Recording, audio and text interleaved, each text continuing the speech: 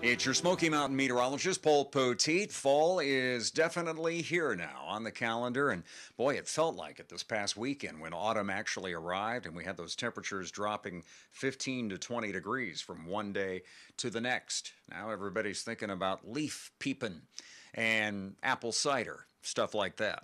Now, you can still enjoy some pre fall colors this week.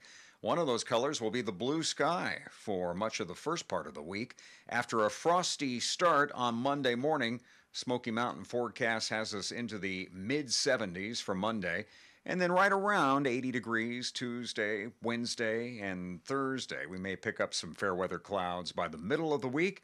And for the moment at least, we've got a rain chance. Chance, showers, and thunderstorms Friday into the weekend. And I'll certainly keep you posted on that. All you have to do is just come back around again. And we'll be right here at visitmysmokies.com.